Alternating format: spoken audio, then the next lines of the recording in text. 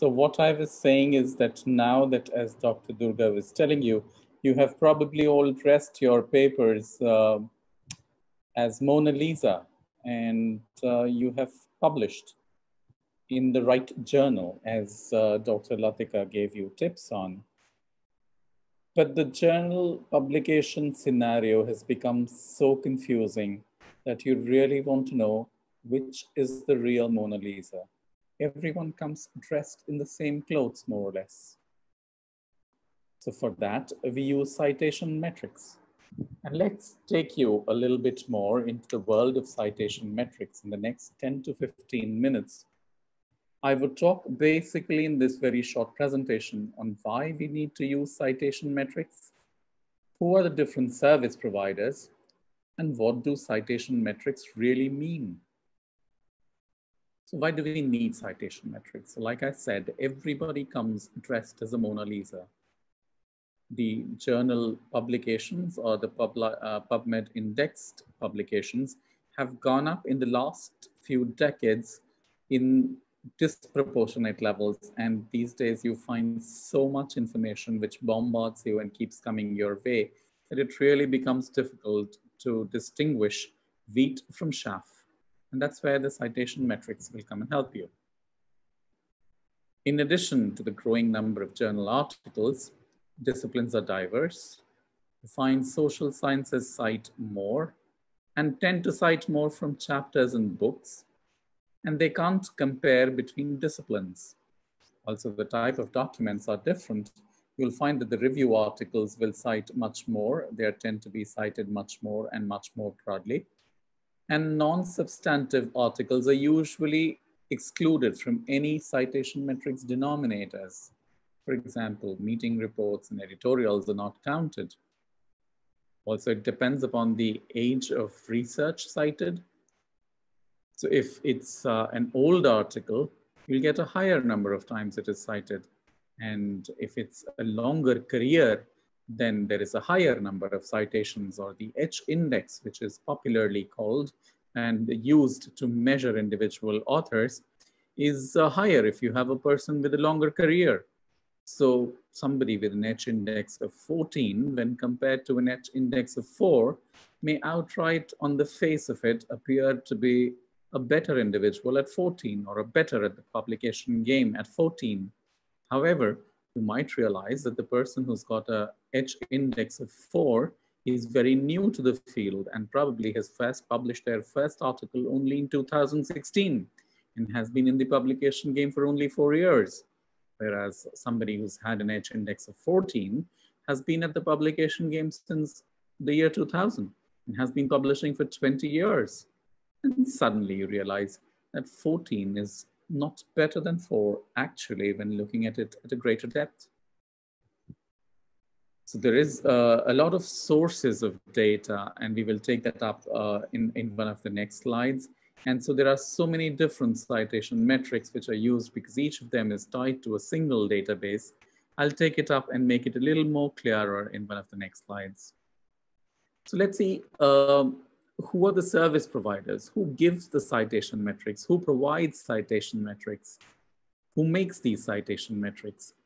So there are three service providers that I have listed here. One is the Clarivate Analytics. They recently bought the Thomson Reuters and they have the database, which is the Web of Science, which looks at 13,000 journals. Now, if that was not impressive, we have Scopus. That's a, uh, that's a uh, service run by Elsevier and which looks at 22,000 journals.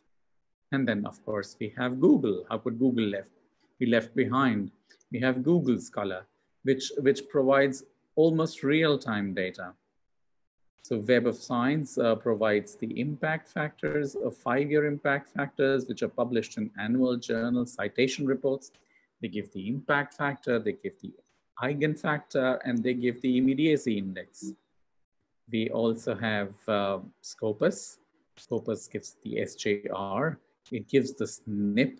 SNP is the source normalized impact factor.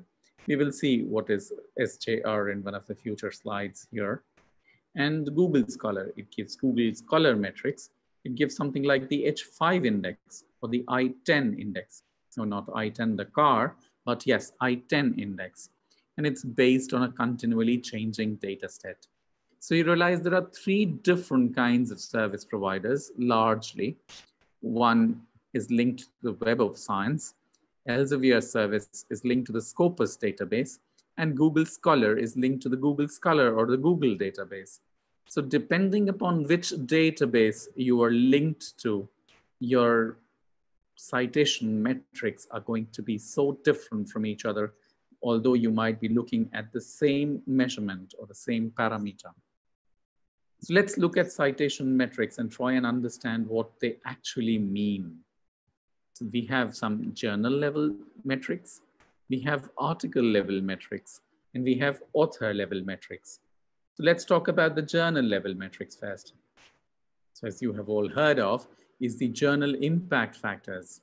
They measure the average number of citations in the current year to the total number of publications in the journal in the last two years. Usually it's based on a small number of highly cited papers. So the numerator generally is composed of a small number of papers which have been cited again and again and again. It's often misinterpreted as the measure of journal quality or article quality, and it cannot be used to determine the impact of an article. For example, let's say Nature, one of the best journals in um, science and literature, has got an impact factor of 38. But when you look at individual articles, you find that most of the articles are cited only 10 to 20 times. Whereas there's a journal PLOS with an impact factor of seven, that's the Public Library of Science, and you'll find there are many articles which are cited zero to five times. So it does not translate really into uh, the article impact or the article impact factor. Uh, impact factor or the journal impact factor that we were talking about is given by the Clarivate analytics, is linked to the Web of Science, and it gives the average number of times an articles from the two years time frame is cited in the given particular year, and citations are captured, as I said, in the Web of Science database. How do you calculate it? The numerator A is calculated by the number of times an article which is published, let's say in 2017 and 18, were cited in the indexed journals during 2019. So that means for any article, any journal to an impact factor, you would have to wait through impact factor. The denominator in this calculation is definitely total number of research articles which were published in the, in the previous two years. So uh, if we try and put the impact factor in its place, you would realize that social science journals generally have a longer half-life and they measure not two years, but five-year impact factors. And you will find that several high-quality journals do not even have an impact factor. So there are several important questions here to address that it's usually a small number of influential articles which gather more and more citations, which will boost up the numerator and skew the averages. A lot of people do a self-citation. They keep on citing their own article. And this leads to an increased numerator again, which is fallacious and uh, uh, it, skewed, skews the number. So it also uh, does not cover if a journal has recently increased in size and has started publishing more and more papers, then impact factor does not really cover it. And then many review articles which are highly cited, as we said before, would have a greater impact factor, which will push the impact factor higher.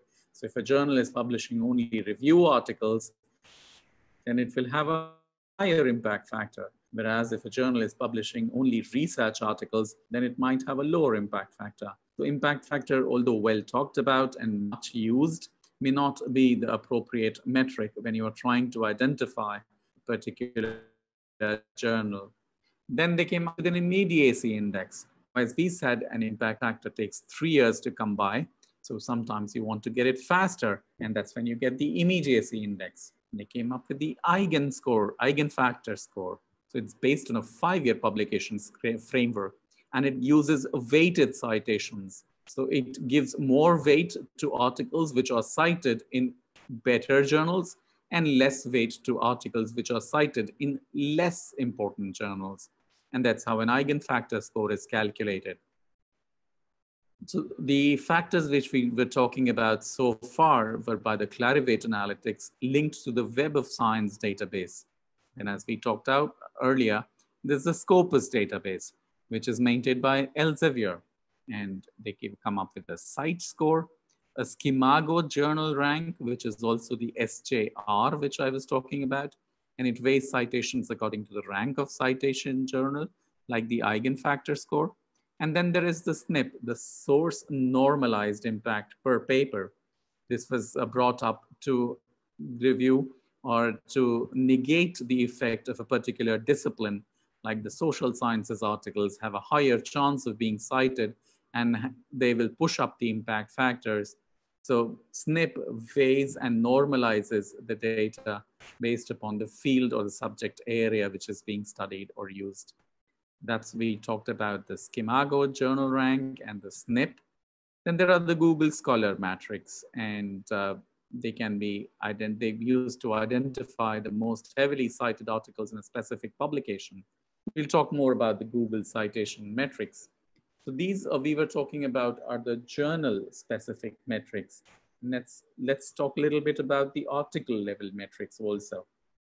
The article level metrics usually talk about how often the article is cited in other articles, books, or other sources, such as the thesis. And again, they often develop, depend upon the discipline, the number of people working in the area, the type of article, and the length of title. So as we said, uh, social sciences have got a higher chance of getting cited. Neurosciences versus mathematics. Let's say there are more neuroscientists than mathematicians, and neuroscientists also publish much more so neuroscientists would cite more.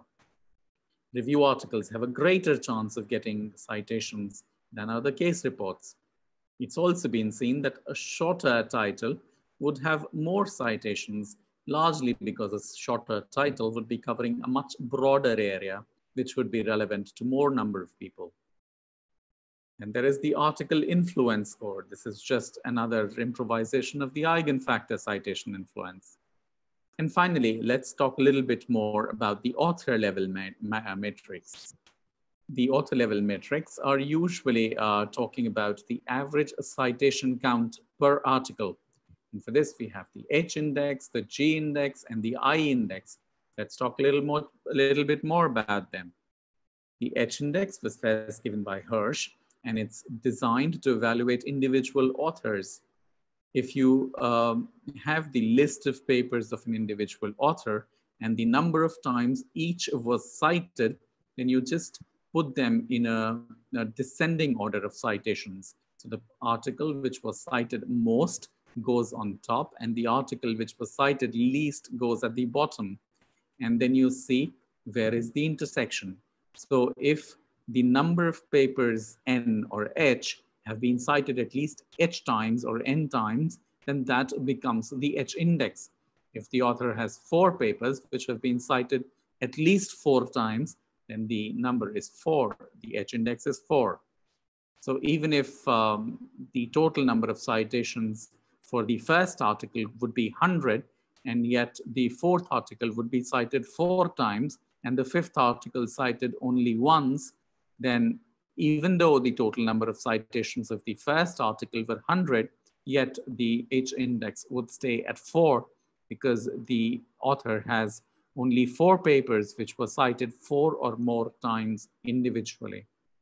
It might be a little more clearer in this graph. So if you have the number of citations on the left, uh, on the y-axis, and the number of documents or the number of publications on the x-axis, then the intersection between these two would give the H index of an individual author. Now, uh, since the H index um, negates the total number of citations of the first few papers and comes up with just one number, they came up with a G index, which is the unique largest number such that top G articles receive together at least G square citations. So the number of uh, citation metrics that are being developed these days are kind of mind boggling. Google came up with the I10 index. It says number of papers that have 10 or more citations. And I would finally like to conclude this talk by saying that all metrics of scientific evaluation are bound to be abused, as said by Mario Biagioli.